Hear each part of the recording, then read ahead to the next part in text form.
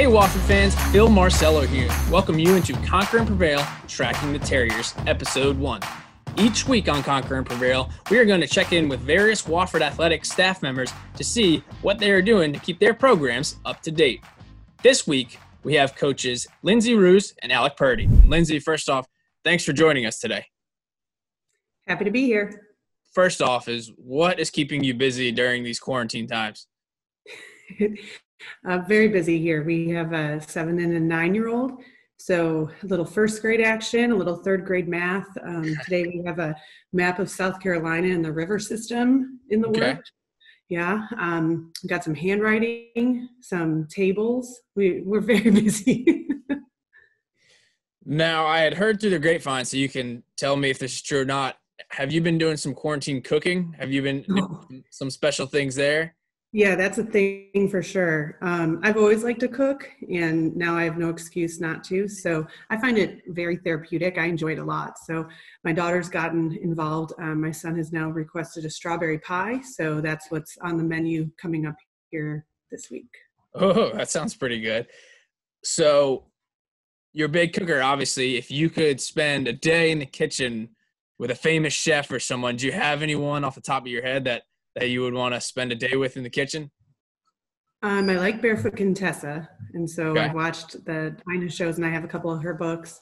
Um, otherwise, I usually just kind of look for the recipe of the things that I have in the kitchen, so I don't have to mm-hmm. go to the store and um, kind of make do from that. So um, I'm looking shows too, and I think on Facebook, Jacques Pepin has done a lot um, recently, and so he's kind of entertaining too. What have you all been able to do to kind of like get some exercise and you know, not be stuck in front of a computer all day. Sure. Well, we're fortunate. We live in a neighborhood with um, wide streets and a lot of hills. So my goal each day is to do 10 miles. So I've been out walking a lot, and we have a, some trails and um, a creek on our property. And so the kids go out there and run around and burn some energy and ride bikes and um, and we've been really lucky with the weather too. Now, kind of staying on a similar subject, but shifting towards the the volleyball program um, what's the communication been like with with your staff and with your players during this time? Is it more individual calls? Have you done some group calls? Have the girls done stuff on their own? My girls are awesome. They're um, connecting themselves kind of on their own, but also we've done a weekly Zoom call. And so we get to see each other's faces all together um, on Wednesdays at 12:30. If you have nothing better going on, um, but we had started in the spring doing some book reports on some uh, motivational things, some Jon Gordon books, things like that. So they've um, done their presentations, and I think it's been good because they early on learned how to do, you know, share screen on Zoom and um, video and things like that. So we have that weekly call, and then we've been with my staff. We just keep touching base throughout the day. Um, they're both local here still, so it's been easy to connect that way. That's good. And, and speaking of the staff, you know, Jordan got a great opportunity, moved on to, to Lamar. Allie got promoted, and then you brought in uh, Justin to, to come help the, the program out. What can you say? Just obviously, Allie's been with the program for a year, kind of, you know, her making that transition and then bringing on the new addition of, of Justin Sanders. Yeah, it's been a smooth transition. I know that we didn't have as much gym time with Justin as we would have liked this spring, but um, he's been really receptive to kind of the th- things that we want him to do and areas that we want him to help improve the team. You know, Allie moving into the associate head coach role was an easy transition. You know, I've known Allie a long time, and she was an associate head at University of San Francisco, so she knows a lot of those responsibilities and really took over that recruiting um, coordinator position you know, seamlessly. I felt really good about that. Um, and so adding Justin in, especially being a middle, you know, that's one area that we feel like we can even be stronger at. So, you know, the time that we had Justin in the gym was outstanding. And now we've been able to, you know, communicate a little bit about film and looking at what we did in the past and how we can grow in that position because we do have some really outstanding players in the middle this year. And part of college athletics is every year you're going to, you know, kids are going to graduate, they're going to move on, you're going to lose some players. Obviously, you know, a girl like Katie, you're going to have to fill the void. But what can you say about, you know, I, I thought the emergence, in a sense, of Riley Coonan. I mean, she was always a player, but she was very dominant this past year. And then you have girls like Emily who played various roles. Some some of those girls that stepped up, and, and you can count on going into this season as well. Yeah, for sure. I think Riley had a great year. Um, she really put in work during the summer, and I think that's what you saw pay off. And I think the other girls see that it's contagious. You know, she really took a big step in her game. And let's see, uh, Yafa, I thought had an outstanding year. I know she had a medical red shirt the year before, so no one really was able to see engage where she was at. But especially during the tournament, I think she kind of stepped into a bigger role, which was exciting for us. Um, yeah, Emily played a couple different positions for us, and I think she's a kid that right now through quarantine um, hasn't missed a beat. You know, she's working on her one arm ups and stuff. So yeah, she's doing a great job. And um, yeah, it, it, was a fun year for some of those new people to step in a, a role like that. And when people say, "How are you going to replace Katie?" Well, we were able to rely on Katie so much um, it, the last four years. You know, she it was an easy bailout for our offense, and now we're going to have to step up the things that we're able to do.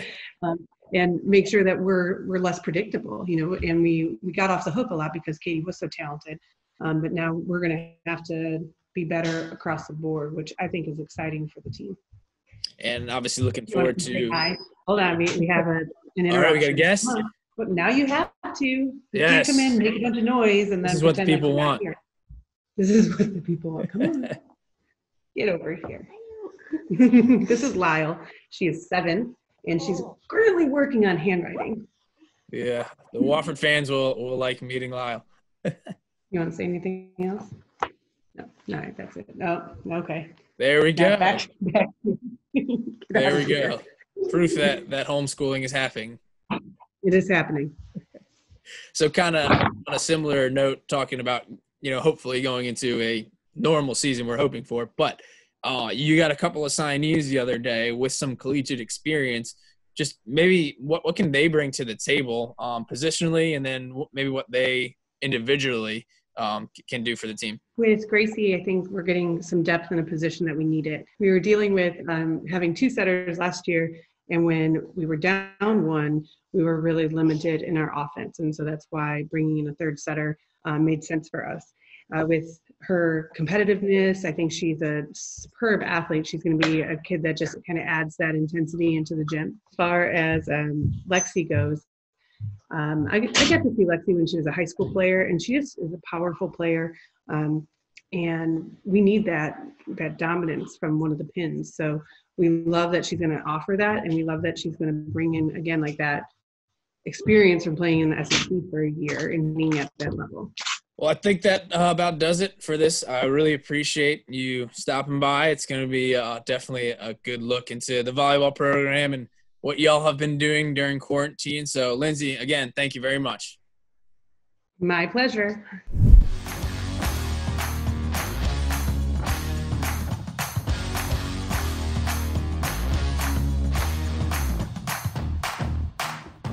All right, fans. Next up, we have Wofford men's so- assistant soccer coach Alec Purdie. Alec, just want to say first off, thanks for joining us today. Yeah, absolutely. It's uh, it's good to get on here and have a conversation with you, and to hopefully get this out to some uh, some Terrier fans. Yeah, and it'll be great for more more fans to learn more of the staff. That's kind of one of our goals in, in doing this this podcast, this video format as well. Um, now, now you're someone we'll kind of get into your background a little bit, but I, I think we should start with something that happened recently in your life that, that's probably changed it. You just had a child not too long ago.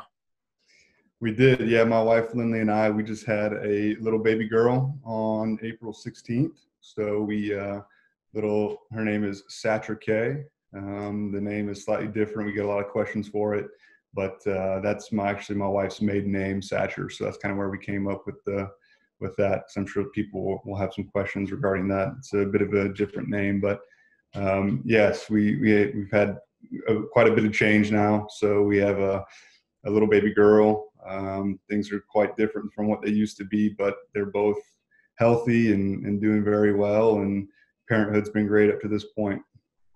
Yeah, I mean that's obviously the question. Just wanted to hear that everyone's doing well how has the adjustment period kind of been? And obviously, it's kind of a, a unique time with the way the world is right now. But uh, you know, I'm imagining you guys are spending a lot of time just the three of you home together. Yeah, we we have been. Um, obviously, the the current circumstances are very difficult. It's unfortunate, but you know, for for myself personally, timing, you know, to be able to be here and help out my wife and and be there for the baby and, and do all that is has been pretty nice actually. So, you know, I don't want to say we've gotten into a routine because right. uh, it's pretty pretty difficult with a newborn, as I'm sure people out there with with kids will understand. But I think we've done the a, a, as good of a job as we can in terms of trying to kind of carve out a bit of a, a groove or a routine in terms of sleeping patterns and kind of um, tapping each other out and, and, taking our turns. So we didn't know if we were going to have a boy or a girl. Okay. So it was um it was a surprise. So um, yeah, it was just kind of one of those things where it didn't really set in. I don't think until probably it was when we were sitting in the pre-op room. Yeah, I was just kind of sitting in that that room once they the bed shoes on was huge and then once they wheeled that bed out i was just sitting yeah. in a room in a chair all by myself so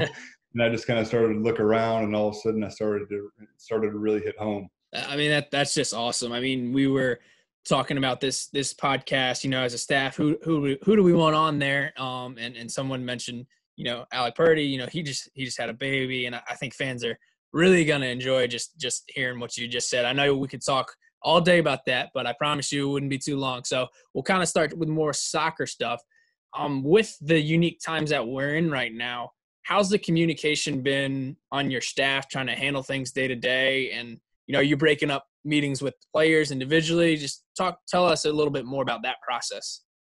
Yeah, I mean, it's just been a, obviously a lot of a lot of phone calls and a lot of Zoom calls and a lot of text yeah. messages. Really, I mean, that's pretty much what what we can do at this moment. You know, we don't have our guys to coach them, and we don't it's a we can't we can't recruit right now either. So you know, it's we've been just communicating with our guys via Zoom calls, um, like I said, text messages and things like that. The staff we've been trying to stay on the same page. Um, you know, we're right now we're currently doing weekly. Sometimes we'll do two a week uh, Zoom calls with the team. You know, just kind of get everyone on the same page. But after the break, um, in school and all that, I feel like it's been all the guys have agreed that they've been I won't say bombarded, but they've been very busy with their schoolwork. And so mm-hmm. we've tried not to take away from that too much. You certainly can't complain about it because everybody's in the same boat. You know what right. I mean? So you make the best of it. You know, you have to try and get creative and, and find ways to to get better. But we're also really fortunate though because we have a, a, group of guys who are very uh, who are incredibly driven. Um, they don't really need um, external motivators. They don't need us getting on them and things like that. They kind of they motivate themselves.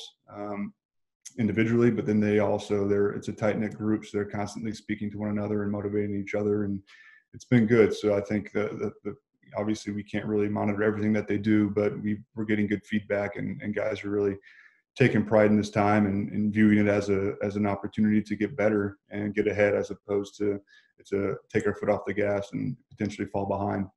And for fans, you know, that are listening or going to watch this and, and don't know, uh, last year was your first year, along with head coach Joel Tyson, um, Nick Finati. I know you guys are all coming back going into year two. You know, can you tell that much of a difference, just how you guys gel and, and things like that? The longer a staff can stay together and, and learn more about each other, the, the more beneficial it is. And, you know, we all came in and, and, and Joel and Nick had had a, a previous relationship because Joel was obviously at Wofford and then Nick was coaching club over at, in Greenville with CESA.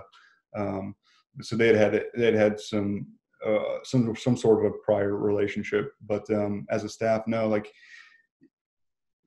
you're constantly learning one another. You're, you're, you're figuring out, you know, when to step back, uh, when to be assertive, um, kind of how to really just offset one another and complement one another, really. But yeah, no, we it, has been a, a, productive first year for sure. But now I think we've we know each other well enough now where we know um, we don't really have to look out for for when we need to kind of step in and contribute or or when to back off. We just kind of know that now, I think, because we know each other's strengths and weaknesses more, and everything's just a little more natural and a little more organic now. So we feel feel really good as a staff, and you know we're just we're really excited to, you know, we're waiting just like everyone else to get going yeah. again, but we can't wait. Yeah.